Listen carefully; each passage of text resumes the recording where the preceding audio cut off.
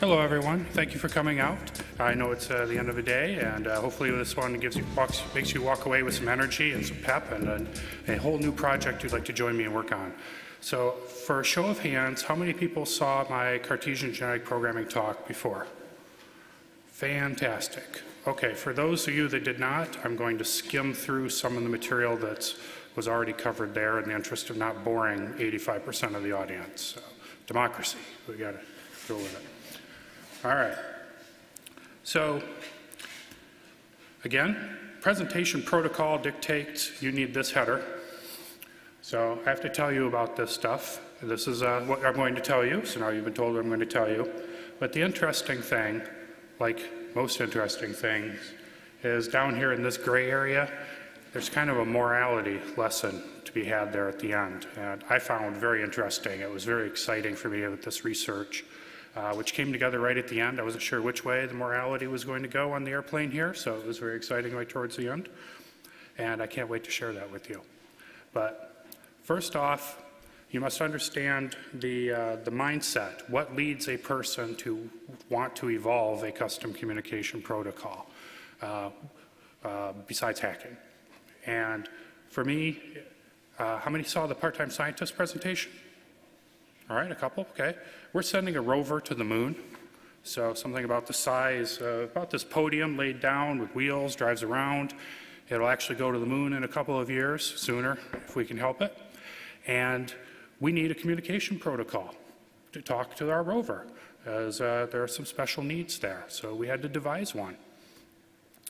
And you know, the technical statement, what we're looking for is you know your classic given and create. So there's a fixed set of hardware we have to deal with. I don't get to choose that hardware, much like most of us don't get to choose the hardware in the ATMs or anything. We have to deal with the, some of this hardware. I work with somebody who can choose hardware right here in the front row, so you know I'll direct, I'll direct negative questions to him. Uh, we have video and data telemetry streams coming down from the moon and being received at large satellite dishes on Earth. And on Earth, we have human drivers sitting there, and they're watching this video and this telemetry about temperatures and batteries, and they're sending up commands up to the rover. So we have two types of data coming down and one type of data coming up. So we have different, you know, essentially three distinct sets of data streams that have to flow, flow here. And our, you know, our, our technical comp sci make my college professor proud is we need to make a finite state machine to do application and network layer control for a symmetric transceiver that's identical on Earth and the Moon. All right? So we're building a transceiver, we're building a finite state machine, and we got to deal with these three separate things. It's not quite that simple. We can't just sit down and sketch it. We have some constraints.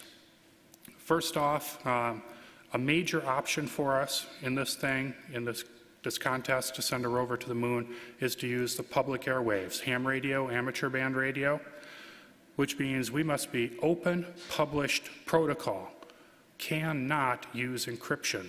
Every one of you in here must be able to look at any packet we get and be able to decipher it and tell what was in it.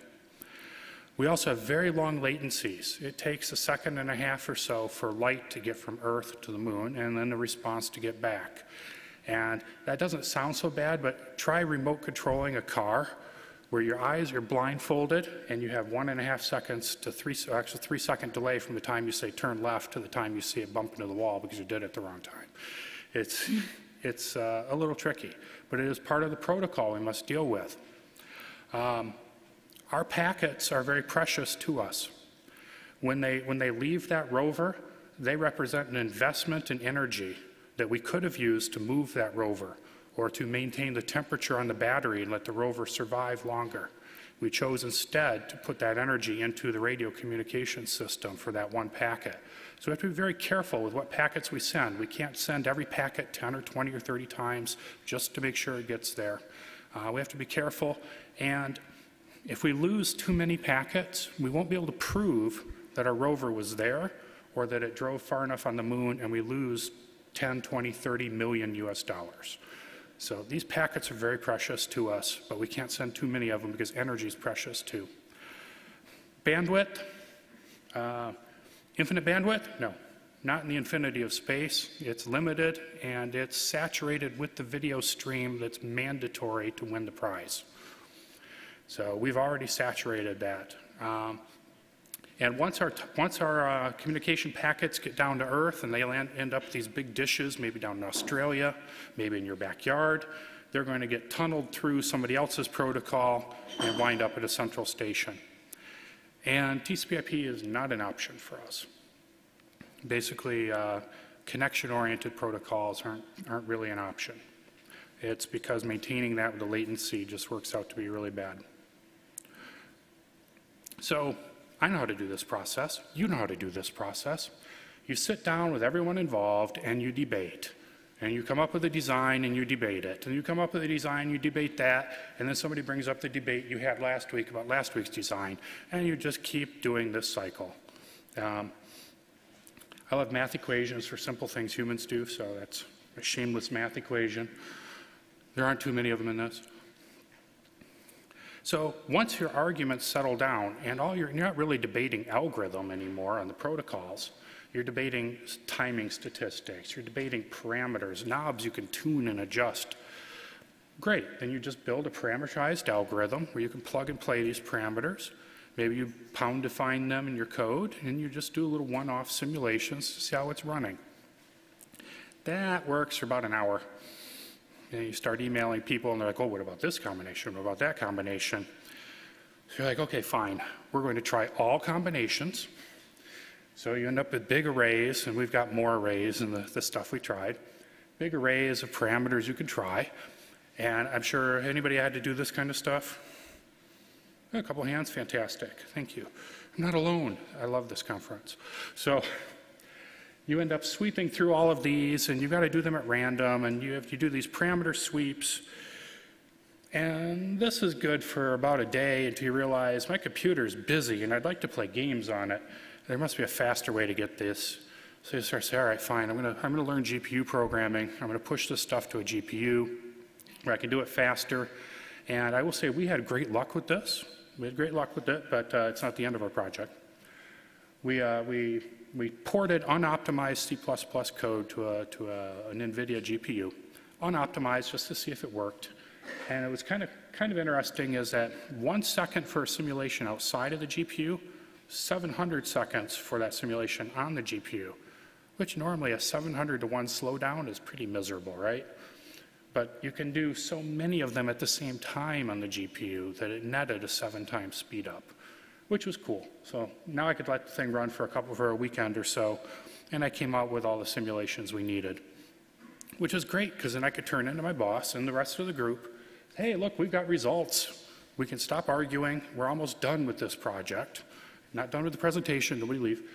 And you end up with this China chart. Say, let's look at how many communication outages we had in the simulation and let's look at how far the rover was able to travel. We measure wheel ticks, 1,024 ticks, how far the wheel's able to move, because if we move far enough, we win money. So wheel ticks, very important mission parameter for us. And then we start to say, okay, if I send you a packet and I don't hear back from you in five seconds, I'll send it again. So that's our timeout. Or I could wait 30 seconds. Which of those leads to a better mission? And if you've got really really, really terrible communications, yeah, they're about the same. If you've got pretty good communications, you want short timeouts and you can recover. But, you know, now we have numbers. No more gut feel, numbers. And we can move on. And uh, I thought we were done. I was pretty pleased with that. We've got 20 or 30 pages of these graphs and some recommendations for all the parameters. Like, okay, hallelujah, done. Wait, wait, wait, wait, wait. Then in the nature of any kind of project where you're not necessarily in control, uh, a few small changes come up.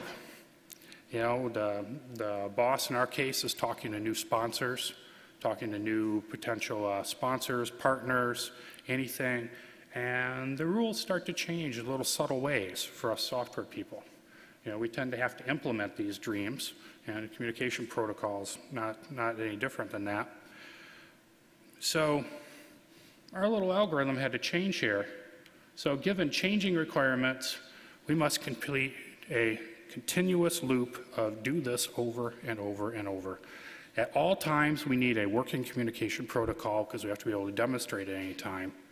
But every time we talk to somebody, we need to be able to tweak that protocol, maybe for their network, maybe for their concerns, their IT department gets involved.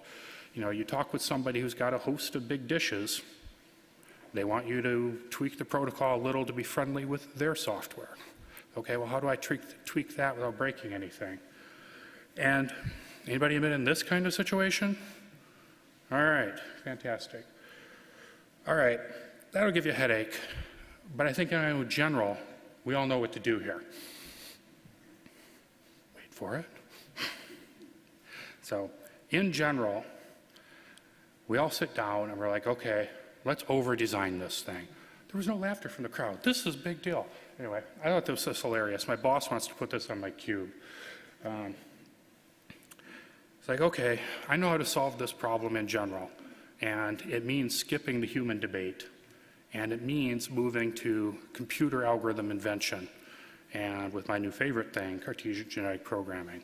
Moving to that where we show up with inputs, outputs, we show up with packets we want sent, and things we want, metrics we want from our communication stream, and we stop arguing over the algorithm and let the computer come up with the algorithm for us. We actually, you know, this is a, a slide from before. Anybody recognize this one? Yeah, yeah, excellent. We start inventing algorithms that look like this. We start letting the computer stay, I've got a series of inputs, I'm going to connect them up this way and see how it does. We start to get into genetic programming, actual algorithm invention, and just take the whole human debate out of this and just be confident that we have a process that's going to work over and over and over. So, very briefly, um, because again, most hands went up when I said, Have I already told you about Cartesian genetic programming?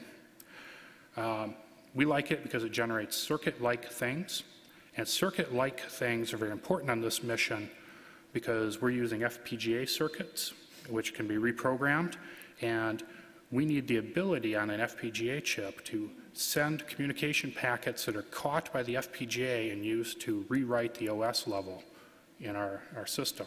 So there may be cases where the hardware has to catch packets and process them in hardware instead of just having all the full abilities of you know megabytes worth of RAM available to software. Hard, some hardware implementation has to be handy. So it's very important for our mission. And we try to keep it pretty simple, whatever hardware could handle. All right, random circuits, shake it all up after scoring it. Things get a little better, repeat. Okay. Everyone remember this little terminology here? Excellent. I did tell you there was a quiz last time, right?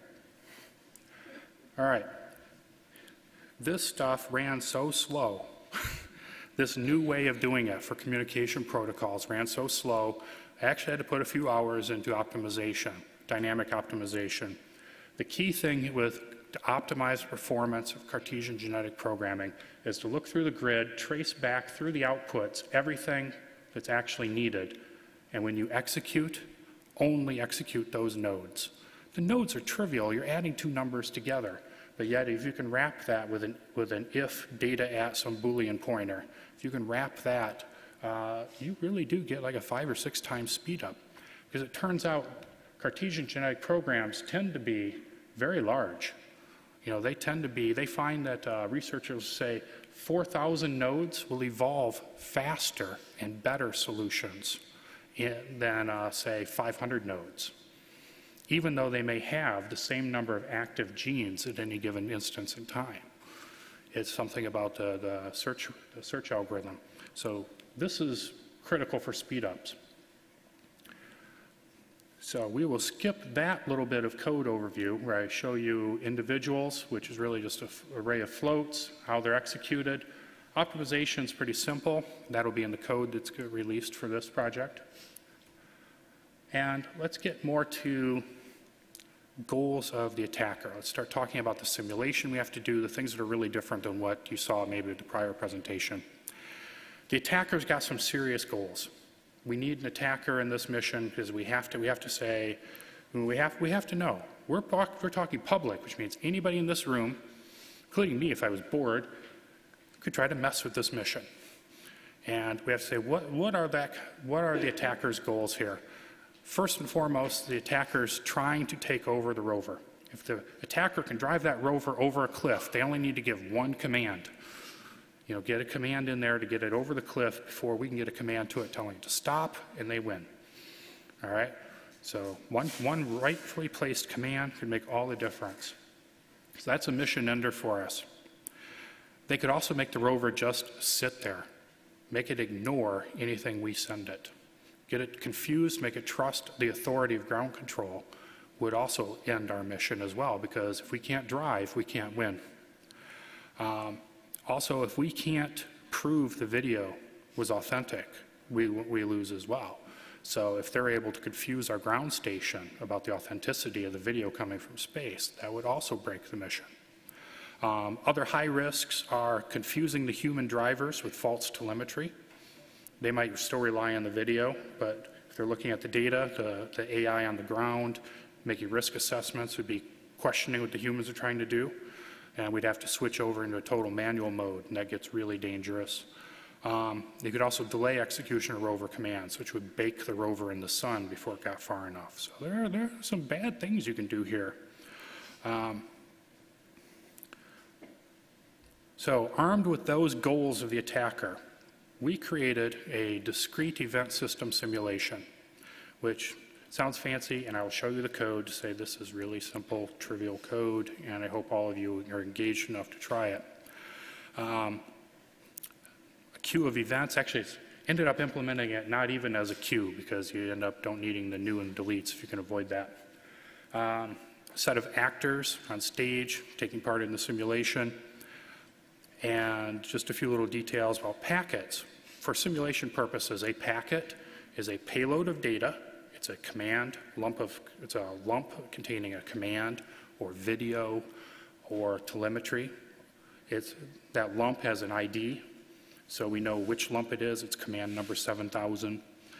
And then it's a series of header control flags that tell you what to do, what to do with that and whether that's you know, authentic or not.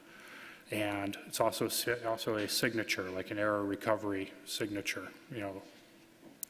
And we also introduce actor, uh, outer space. So we've got the transceivers we're building, we've got outer space, and we've got the attacker. Outer space is kind of interesting. I tried this simulation without outer space, or I should say with a perfect outer space that just, no attacker, and it just let packets flow. And um, I would be embarrassed to call that code because what came out of the system was essentially, you know, um, trivial. You know, if true, blah, you know, I mean, it's, you end up with nothing that would pass any kind of robustness. So at a minimum, we found that you need some kind of at least trivial attacker, in our case, outer space, in the simulation in order to evolve a communication protocol. And we gave this one the ability to just lose packets. So, hey, hey, ground control, I got this video ground control. Like, never heard it, never got it. We can replay. Space could cause a data packet to somehow get echoed around and have ground control see the same video frame twice or the rover to see the same command twice. Um, the rover might also see its own video packets coming back, echoed back to it. And any of these packets anywhere at any time could be corrupted, but some potentially even beyond the ability of whatever um, forward error correction is put on the packets. So Space is, uh, space plays dice, but is kind of harsh on the packets. So next in the communicate, next in the, uh, the structure of our communica communication system, as we look at the transceiver as a set of, as a set of chromosomes, uh, Cartesian genetic programming chromosomes, but really actors. So when the simulation says, I have a video packet that has to go, okay, this guy, data ready to transmit, that actor is going to be engaged, and that actor, that packet will be presented the actor, and the actor will tell us what control flags to put in the packet, whether or not to even send it. Um, and then likewise, when data comes in, how to deal with it, including the choice of whether to accept it or reject it. So you don't have to accept every command that comes in, you can just discard it. And then we gave also the ability to have a, um, a queue of command packets, up to 10 command packets, some small hardware thing. And if any of those sit in that queue for too long, then those get expired. Uh, because it turned out adding that saved a whole lot of uh, mental hassle about how to figure out how to evolve that functionality. So there's still, still a little hand of God that had to be dipped into the evolution there. Wanted to point out uh, some feedback from the last one, uh, Cartesian genetic programming, is that we made heavy use of chromosomes in this case. Uh, a key tenet of genetic programming is the copying of partial solutions from one generation into the next. So don't just take the best one and move it forward. Take some part of one that wasn't so good and move it forward as well. And Cartesian genetic programming does that through the use of its chromosomes. We used the uh, complex chromosomes from the prior lecture to uh, really make really accelerate this. They're scored separately, promoted separately, and you end up making super individuals at next generation that contain the best way of doing everything. Don't worry, I'm building to that gray moral in the gray area here. Stay with me. All right, so our attacker is almost Superman. Our attacker is co-evolved. Every time the transceiver gets a chance to improve, so does the attacker. So they are, they are neck and neck for as much computation effort as available. Our attacker has full knowledge of that packet structure, so there's no reverse engineering the attacker has to do here. Our attacker can crack our private keys. We presume that if an attacker has seen a certain number of video packets, that they will be able to reverse engineer the private key used to create and sign those packets. So I think consider that a worst case. No matter how many bits we want to put that in, we assume the attacker can crack that and has a large bank of computers trying to help them with it. We assume that the attacker sees every communication between the ground and the rover. You cannot hide anything from this attacker. However, the attacker cannot be man in the middle. We are sending through space to dishes on the Earth. The attacker does not have a satellite that can block those signals and retransmit them. So man in the middle is not allowed in this scheme. Uh, it would be interesting to see what could come up with, but it's not something we simulated. The attacker is able to send to the moon. The attacker is able to send to the ground stations, although there is a risk when sending. If an attacker were to send through radio to a ground station, the ground station would recognize that did not come from the moon and that it was from an attacker. And you may have, you know, to move shortly because there is somebody who's going to start tracking down that transmission. So when an attacker transmits to the ground station, their best bet is physical attack on the network lines and to inject packets in that way, not to transmit them over the radio. Okay? But we assume that the, the attacker has that advanced ability to get those, their packets into the data stream as if they came from the moon. So I consider that Superman. Uh, perhaps other people know other advanced, other abilities the, the attacker should have, but I, I think that's a pretty, pretty harsh attacker to evolve with. Furthermore, the attacker we consider is stateful. So it sees every packet and then it makes the decision to send a packet that goes out. And who would I send that to, or should I even send a packet? It maintains a full state machine for itself, as well as has a timer, so it can get poked even when there isn't a packet arrived. That allows it to launch a denial of service attack. The attacker is also very large, computationally large, which is why these simulations run so unbelievably slow. Um, it's much, much, much larger than any of the um, any of the Cartesian genetic grids we did for the transceiver. So it's to, again to mimic an attacker with many resources behind it. So we tried to give the attacker every advantage we could. And then we're very close to code and then we'll start talking some uh, philosophy here. So when you look at these simulations, you have to look at uh, fitness, okay?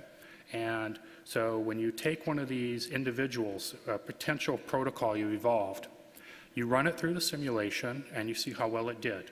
How well it did, that score is its fitness. And the idea of Darwinian, Darwinian uh, idea that the strongest survive, the most fit survive.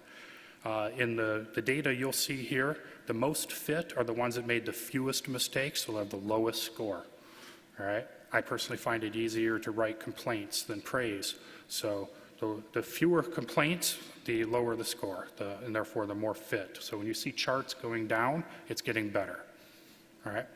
So every generation, you have fitness, and then every once in a while, you'll do something that's better than you've ever seen before, and that becomes your best fitness so far. And so you'll see generational fitness do something, you'll see best fitness step down. And every time you come up across something that's better than you've ever seen before, you stop and you do a validation. You say, okay, well, I've done my little simulation. I want to do a very harsh simulation. I want to do the real job. How well does this best thing that I've just found, how well does it do against a real validated test? And that's under the idea that the validated fitness is ridiculously hard and ridiculously expensive computationally to do. So you're taking a little shortcut by doing fitness, a smaller fitness evaluation in order to do the evolution. And in our case, we have a series of penalties here. So if I'm the transceiver and I get a packet in, I'm like, hey, I like this packet, but it's signed with the wrong key. Okay, penalty. Success for the attacker. That's a reward for the attacker. So it's plus equals fitness for the transceiver and minus equals fitness, which is a good thing for the attacker. Um, accepted a packet that came from the attacker, accepted unknown data lump. So if somebody offers me data lump 7000, whether it's command 7000 or whatnot, and that just doesn't exist and I still accept it, that's a problem. Um, if I accept a command more than once, that's not necessarily a mission ender. If I say accept the turn left command, command number 7000, turn left, accept that twice. That's not necessarily a mission ender because somebody might still be able to write a little code to detect that and only execute that command once, but it's still a hassle they have to deal with, so there's still a penalty there. Um, likewise, if I turn back every packet, say, well, I'm doing terrible by accepting all this stuff, so I'm just going to close the door. Well, that's still a bad thing. There's still a penalty there. Uh, and so forth. Oh, and the attacker we spank the attacker every time this transceiver does something right. Anytime a valid command actually got through, we tell the attacker, you did something wrong, you can do better. So I will say this list was not the list we first started with and that we had to evolve during this. Okay, There's, there are some tips about this. One very important thing is, remember I said we have to validate when things go, when you come up with something better, you have to do some validation. Uh, this is the type of chart you'd want to do, is you want to do a whole bunch of probing runs, and then you want to look at the fitness and validated fitness who come out of those, and you need to make sure they are correlated. It doesn't need to be a nice straight line, okay? It doesn't get all straight liney down here, so don't worry about that, that fit. But it is a monotonically increasing thing. It does have a good Spearman's fit. Uh, it's important to say the little tiny fitness that I run is well correlated to the much more expensive validation that I run because if things validate well, then I'll accept that into the mission. So overall things you want to look at is, well, can you do, can you evolve a communication protocol with Cartesian genetic programming? Is it robust? I mean, is it actually useful? Um, and if you had to do it again, can you do it in isolation? Do you have to have only poor signal quality like outer space? Was that enough? Or do you have to have an attacker? And kind of interestingly, if you had an attacker, does an attacker evolve faster than the communication protocol? Does one win? Is there a winner here? That would be of interest. All right, so I want to show you some code quickly. How are we doing on time? Sorry. Sorry, I don't have my watch.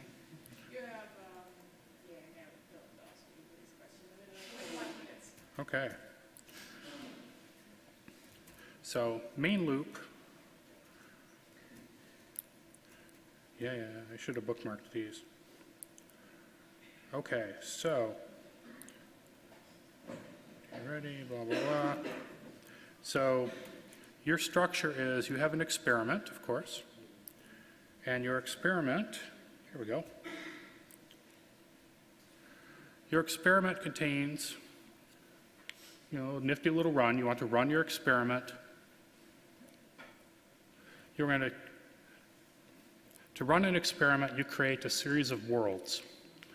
And in each world, you assign it a program to run for packet received, data ready, packet expired, and an attacker. And what you want to do is combine every attacker with every individual. So if you have, if you have four attackers and you have, you have four individuals up here, you've got 16 worlds you need. And then you need to do these worlds a whole bunch of times because it's stochastic. It's got to be random. We'll talk about that, why that has to be a little later. So it has to be random, so every, every pairing has to have a whole bunch of runs to go with it. But each one of those runs is a world. That structure seemed to work pretty well. It kept the code easy to write. And uh, anybody use OpenMP? Am I the only one who uses OpenMP? Anybody use that? A few people? Okay. It's a super simple way of getting parallelism in your code. This little pragma says do every do this for loop, everything in here, as many cores as you have on your processor. So in my case, this will run uh, eight worlds at a time. And you turn it off for debugging. Now it runs one world at a time. You can deal with your pointer problems. In my case, I had a lot of pointer problems debugging through this, so narrowing it down to one world was very helpful. So execution's pretty simple. And then it's a matter of just going through, going through and totaling up the fitness for each of the, each of the worlds that you ran. How well did these things do in each of the worlds? Well, you know, in the first world, the uh, data ready, hey, I've got data, I want to send it out, that little program, that logic, might have done terrible, but the received one did pretty good. So you need to add up all those fitnesses, um, get them averaged out, little cleanup, and then it's a matter of scrolling through not the worlds, but the population and say, who's got the best fitness so far? If anything got better, dump out some visualizations, do your validation. Pretty straightforward. Validation looks a lot like this, it just doesn't use an attacker. Validation is outer space on steroids that's just noisy. I mean, it has almost, you know, a 70% chance of echoing packets and corrupting packets. It's just the worst possible static you could imagine on the line to see how many commands can I actually get through there. So pretty straightforward stuff there. All right. So can Cartesian genetic programming make control logic? Yes. This is control logic for data ready for a, uh, just one of the random examples we ran. This is uh, an absence of an attacker. Yes. Absence of an attacker. And it's pretty straightforward once you get the hang of reading it. So my inputs are the state machine for the transmitter, the shared state across all chromosomes, the data type that's ready to be transmitted, the sequence number that would be assigned to the packet if one got sent, and the oldest sequence number that's sitting out there that we've not heard back from. So if we've sent 100 commands and we haven't heard about command 12, um, that sequence number would be out here. And then we're told, okay, update your own state, update the shared state. How do you want to sign this packet? And then give me two, two control flags you want to put on the data packet and then hopefully that'll be received and decoded by the out, outside. Um, you've got some real garbage in here, I will admit. There's some junk. So normally what you would do if you were to convert this to real code, you would, you would auto-generate this into, say, C code, and then run that through, let the C code compiler tell you that transmit state greater than transmit state is always false. And adding zero to that doesn't do anything, and negative zero doesn't do anything. So this is always going to shove a zero to the shared state.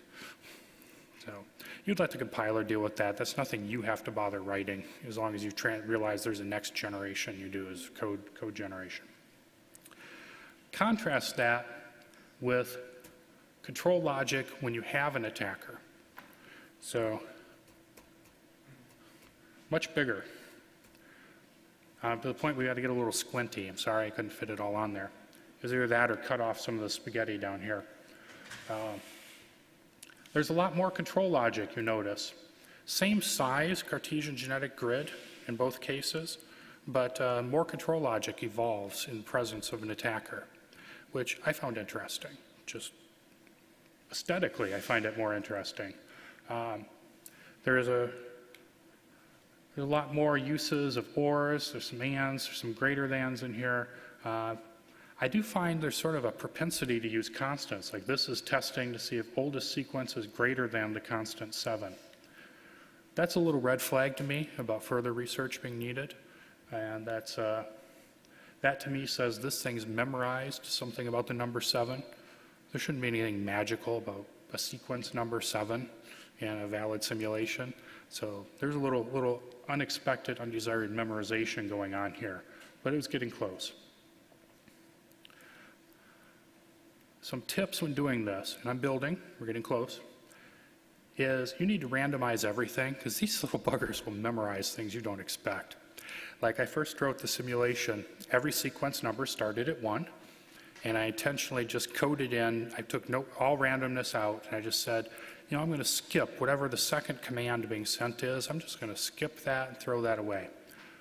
These little buggers memorized that state machine instead of a generic communication state machine.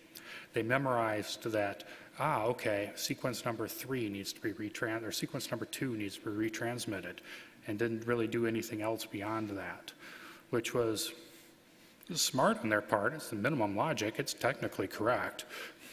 But I asked it the wrong question. We had a, uh, I know of a cat that uh, wanted treats, and the treats were in the cupboard. So it would stand there, and you uh, would open the door and it wouldn't move, so it would get hit in the head as the door opened. Well, the thing learned that if it didn't get hit in the head, it didn't get treats.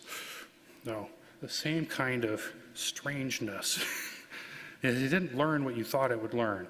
So, but when you started randomizing those sequence numbers and start randomizing the gap between sequence numbers, so it doesn't go 1, 2, 3, it might go 1, 20, 22, 50. You start randomizing those, then it starts to evolve more general purpose things because you didn't realize you were presenting it with something it could lock onto.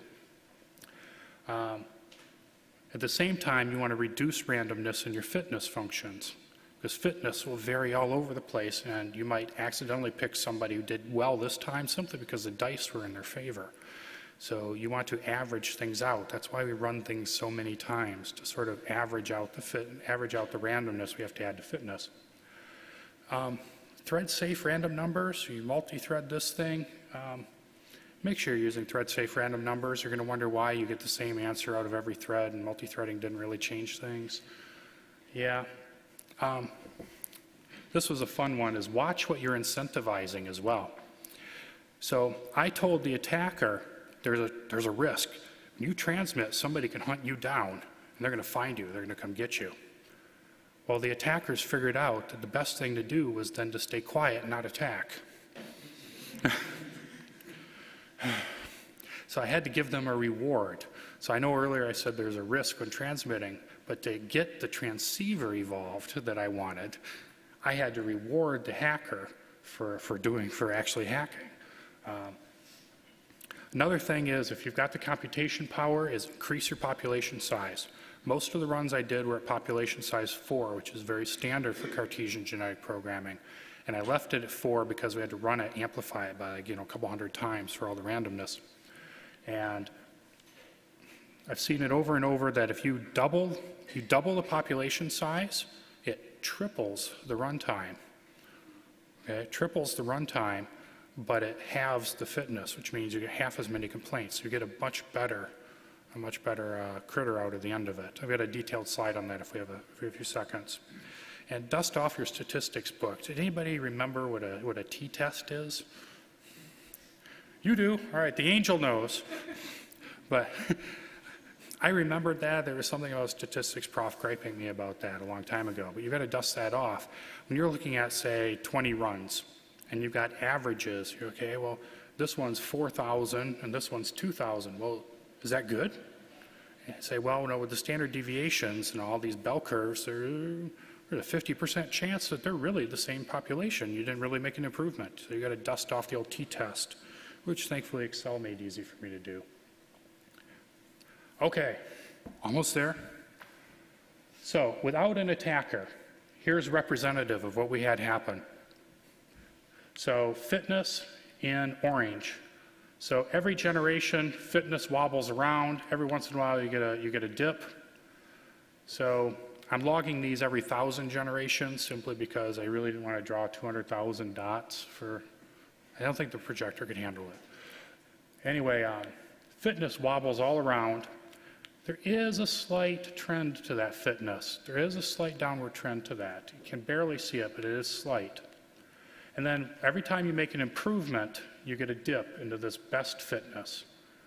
And you see that down here, and every time you change best fitness, you give a validation run.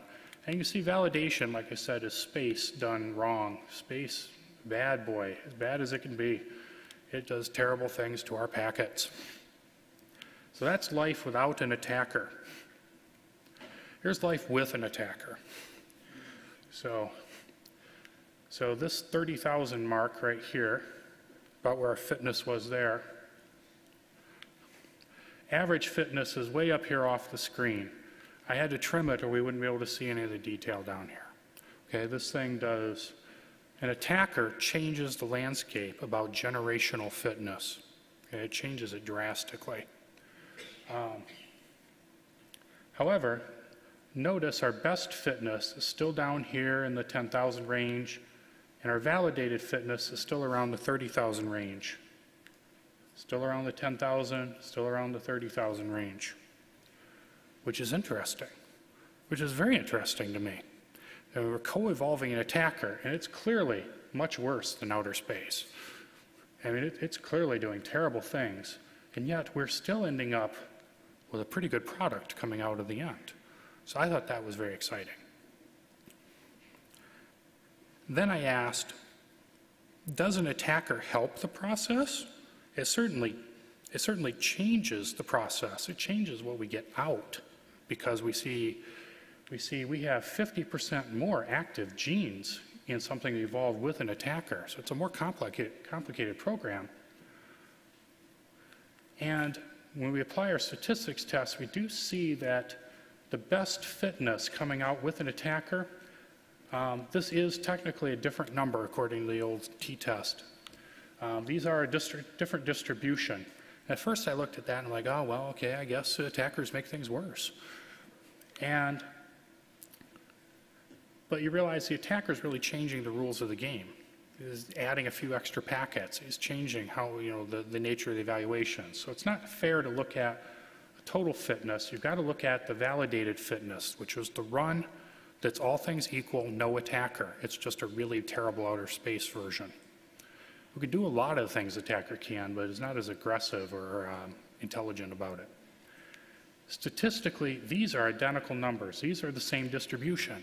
Now that's fascinating to me too, is that even with an attacker evolving with all these benefits, that a transceiver can still evolve, um, keep up with the attacker, and still produce something that performs as well as if it had evolved without the attacker. So, okay, to me that says that doesn't say attacker helps or doesn't help. That just says the attacker changes things. Now, this is of interest too, is if we look at the generational fitness, we see that without an attacker, the um, fitness is going down slightly. The, the validated fitness is dropping a little bit, or the fitness is dropping a little bit. So without an attacker, things are getting a little better over time. With an attacker, our fitness, generation to generation, isn't changing isn't changing at all. The fitness functions are not. Um, they're very poorly correlated. There is no trend here, which to me says the attacker and the transceiver are locked, deadlocked. As one evolves, so does the other. Now, I'm only looking every 1,000 generations, so there's bound to be peaks and valleys in there where some of them are going to happen. I'm not going to see that. But these two are locked into a, an eternal struggle with neither one winning and neither one losing which I find very interesting. And yet, with neither one losing, with fitness not getting any better over time, we still produce just as well at our day job. Okay? We have the extra overhead to deal with the attacker and still deal with our day job. And then, if we look at, say, best fitness, validated fitness, the, the real criteria about how well things are coming out, you know, what's the end product? We see some noise in here fitness-wise. What's coming out of this thing? As we see these things have about the same lines. The validated fitness and correlate and best fitness are coming out with about the same downward trend in both cases, except, and this is the beautiful part, this is the gray area morality. The validated fitness at the end of the simulation runs, and I had to do very short runs to get enough of them and done, done in time for the conference. But at the very short runs, the ones with an attacker are improving their validated fitness at double the pace of the ones evolving without an attacker. I find that an incredible morality lesson that says if you want to produce a communication protocol that at the end of your process is going to be really good, you actually need an attacker to make that progress quickly. Because an attacker does accelerate the progress beyond a certain number of generations. It does improve your ability to, to produce good work. In fact, it outperforms the random space adversary we start with in terms of, uh, terms of challenging your, your, uh, your evolved code. So, can it do it? Oh, yeah. Oh, yeah. I'm very comfortable with that. Um, is it robust? Can it work with poor signal quality? It seems to. I'd love to see a perfect one evolve yet, but I will say that has not happened, but I'd love to see it. I'm not sure if it is possible, though. I'd need a little more instrumentation in the code. Can it work with an attacker? Um, to paraphrase our team's logo, hell yeah, um, because it holds its own with an attacker. It doesn't lose ground, it doesn't gain ground, but it does hold its own. So to me, that says you should, you should evolve your control logic with an attacker and with a minor poor signal quality case challenge both of them just in case. And that as long as you're willing to keep evolving your communication protocol, you can keep up with an attacker. Interesting experiments the future would be to run would be to pause that, to freeze, like set a standard for the communication protocol and see how just quickly an attacker can overwhelm it, uh, to see how mature you have to make a protocol before you freeze it. So future work, push this thing onto a GPU, a lot more computations, a lot more at a time, especially the worlds, make our chromosomes finer so we can take more advantage of the genetic part of genetic programming. We need a little better, different selection technique than just choosing best uh, fitness because um, I have the feeling, I just have the gut feel that there are some good, good individuals sitting out there that the attacker is really challenged that just haven't shown up yet.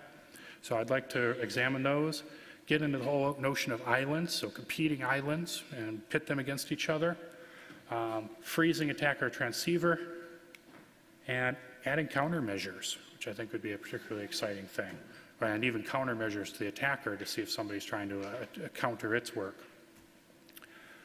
That is about the end of my presentation, so I thank you very much for coming out tonight. Uh, shameless plug, join us, work on this. If not, um, you can go get the code uh, a little later tonight from this URL up on WordPress. And I recommend some extra books here that I find very interesting. This one here, Evolved to Win, is free, fascinating, not necessarily Cartesian genetic, but it's a fascinating read on uh, gaming strategies. And I, I think all of this has been very exciting, very exciting for me, and I look forward to seeing what you guys can do when you take a communication protocol engine and drop it into things dynamically.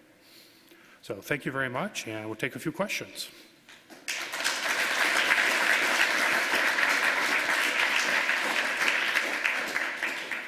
And please remain seated till we finished. And he has some more t-shirts to give out. Swag. So, yeah.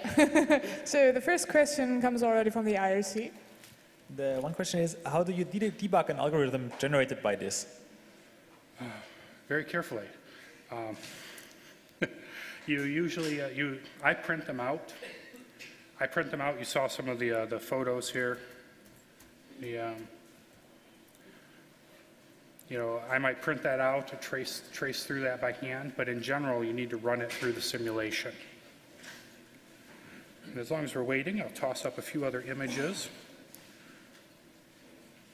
So here is a packet received program that was evolved for the transceiver.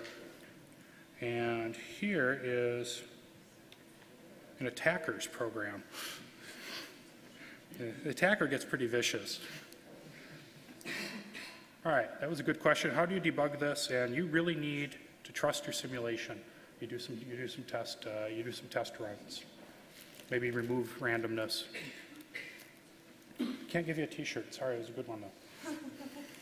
He needs to come down if he's here. Okay, next question I think was here. I have considered that there might uh, be more than one attacker at a given time? So that you could have, you could have uh, the attackers punished if another attacker was better than a given attacker? No, I've not played, uh, I've not considered a community of attackers. I presume that the attackers would pool their resources for cracking keys as opposed to launching multiple independent attacks. However, the system being chromosomes with an attacker just being a chromosome, you could easily launch as many of those as you need and add them to the system. That would be very interesting to see if multiple attackers can actually swarm it. That would be fascinating. Join me. Download, write, join. Wear this while you do it. Yeah, go ahead. Uh, I was wondering if you had tried your uh, uh, generated attackers against your manually created uh, protocols from your initial attempts. No, I have not. Um, the code bases are so wildly different. Um, the manually created one actually has fairly poor support tools around it, so I haven't been able to really fit that in. I'd love to, though. Next question. That was great. I love that one. Can we get this back to you? Oh yeah, I, I will when I'm in the area. I would say.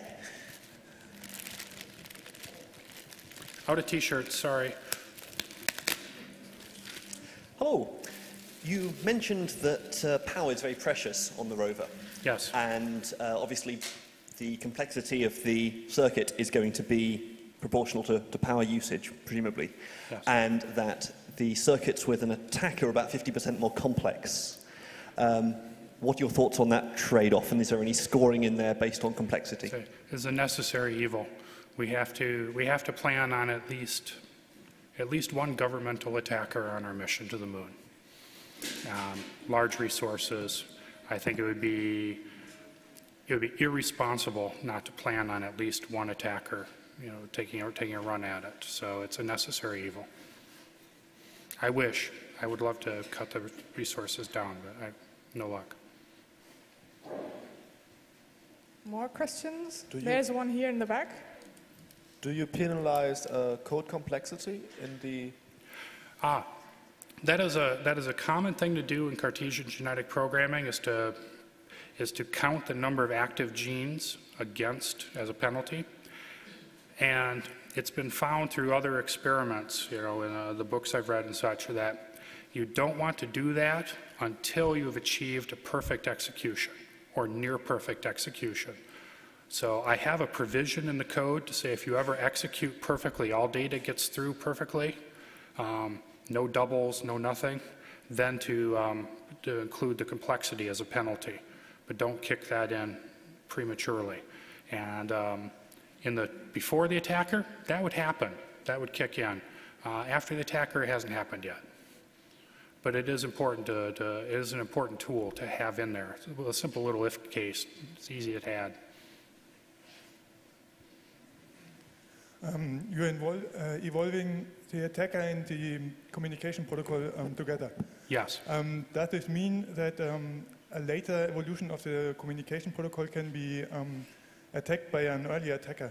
Because um, the attacker, well, you are playing the, evolved version of the at- attacker against the protocol, so maybe an earlier version can attack it. Yes, that is, that is a potential risk, is that an earlier attacker would have a different algorithm the attacker gave up on and that the, uh, the transceiver is now vulnerable to. And I think perhaps the suggestion that was up here of trying multiple attackers um, would help address that, potentially saving old versions, random, randomly sampling old versions of the attacker and reintroducing them into the population would help. But um, I don't want to do that until I get this ported to a GPU. I have to be pragmatic, but uh, that would be, that'd be very helpful. But yeah, it's a vulnerability. More question? Please raise your hand so that I can find you. There's one. One moment, please. Anyone that's asked questions or just hasn't, um, I do have a little swag, some pens from NVIDIA and some part-time scientist stickers. You'll see me afterwards while we're uh, driving around. Yes? Okay. Um, so, when do you want to? Obviously, some of the calculations you can simplify them, and it's pretty easy. It would be pretty easy to recognize certain genes as possibilities for simplification. But would this affect the output if you simplified before, too early in the generations? Is what I'd like to say. Yes. It, yeah. It you, turns out bad. You, you simplify, uh, let's say you simplify this no-op, okay? Remove this no-op entirely and just route this one over to here and remove that gene entirely. Now you've removed the ability to come in and mutate that to say a uh, negative or a different operation. And that does seem to affect the Cartesian genetic programming. You almost, you want to leave in the bloat for as long as possible and only optimize at the end when you, when you harvest. Because it really does seem to affect the, the run, the reliability. Could, could it be possible also to run the same process in like kind of a MapReduce environment? It seems like it would be possible. Yes, that would be the islanding, which would be to, uh, be to, to run hundreds of different communication protocol simulations, maybe starting from different random seeds uh, separately, and then see what the best one is. Another one might be to uh, take the different worlds you construct and then farm them out to a grid or a cluster and have, the, have them executed remotely and come back. The, uh, the Julian Miller, who invented the technique, he would, take, uh, he would take these and compile them to C code and then route that C code to NVIDIA CUDA cards on dozens of computers across the lab. Um, we are running a bit out of time, so is there one very, very important question now missing? No? Then I would prefer to end the talk now, and you can ta- talk with him a bit later on.